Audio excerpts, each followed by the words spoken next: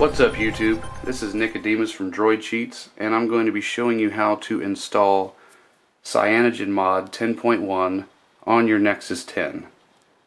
Uh, this new version of CyanogenMod, the Nightlies now have Pie control if you know what that is or would like to check it out.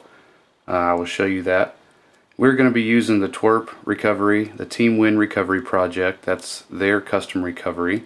Um, that is my favorite recovery and that's the one I always use. If you haven't already unlocked and rooted and installed the TWRP recovery on your Nexus 10, you can watch the videos in the description to show you how to do that. For the rest of you that are ready to go, here's what we do. So you click on the link in the description and it will take you to this page and you will see all of the nightly releases of the CM 10.1 for Manta. Make sure you are under Manta. That's the code name for the Google Nexus 10 and download the latest nightly update. Save the file. Okay, while that's downloading, click on the other link in the description to download the Google Apps and save that. And when they're both done downloading, we'll move on to the next step.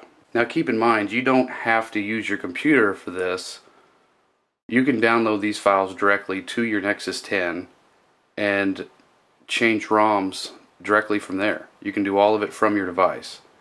I'm just showing you how to do it from the computer, but like I said, you can just go, you can click on the links in the description right from your Nexus 10 and download them directly to your system and install it just like that. There is not a problem whatsoever in doing that. Okay, now we're done downloading the files. Make sure you have your Nexus 10 plugged into the computer, and then we're just going to find the files that we downloaded.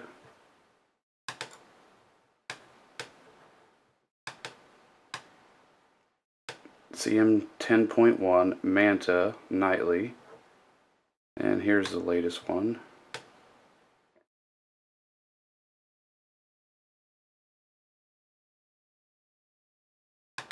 And then we need to find our Google Apps. Here are the Google Apps. Drag that over as well.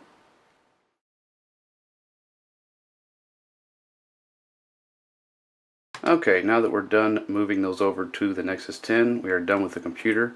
Okay, now you're going to unplug your device and you need to reboot into your TWRP recovery. Power button or volume up and down and power button. Hold all three of those. Make sure you're still holding them when it goes to boot back up. Okay, now we just hit power up twice and we're on recovery mode. Hit the power button to go into recovery mode.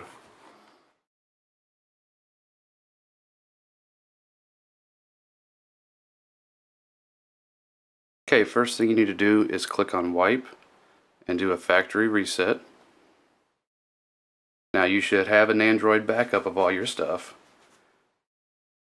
Make sure you do that before you do this. And then from there we click back click on install. I'm already in my download folder, but you would see this at first. And I click on download, CM10 Nightly, swipe that to flash it. Okay, I'm going to go ahead and wipe the cache and Dalvik Cache real quick. Click back, click back again, and now let's install the Google Apps.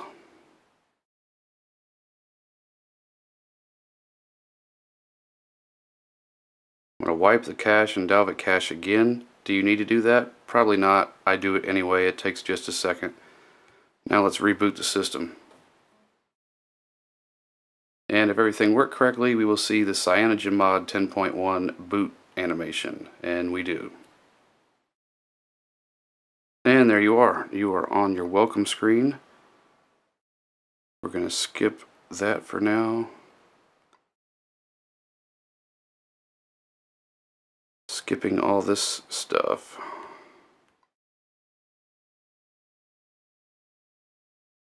Okay, now to enable the Pie controls, if you're interested in that,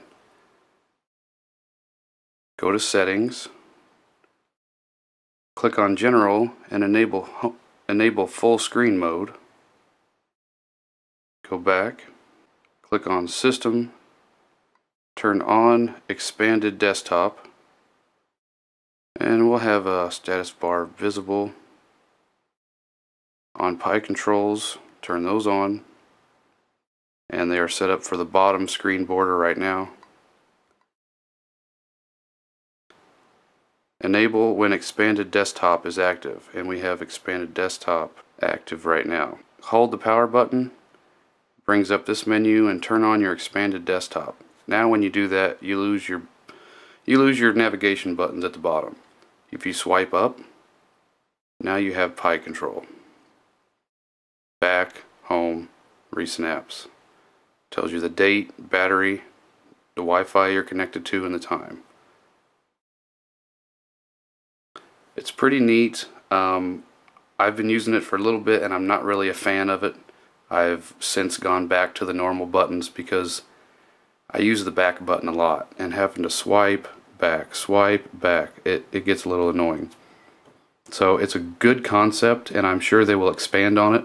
But for right now, I will stick with the, the uh, regular buttons. That's how to install CyanogenMod 10.1 on your Nexus 10. And there I show you how to open up your Pie controls if you'd like to try those out. Don't forget to subscribe, I really appreciate it. And this has been Nicodemus for Droid Cheats. I will see you next time.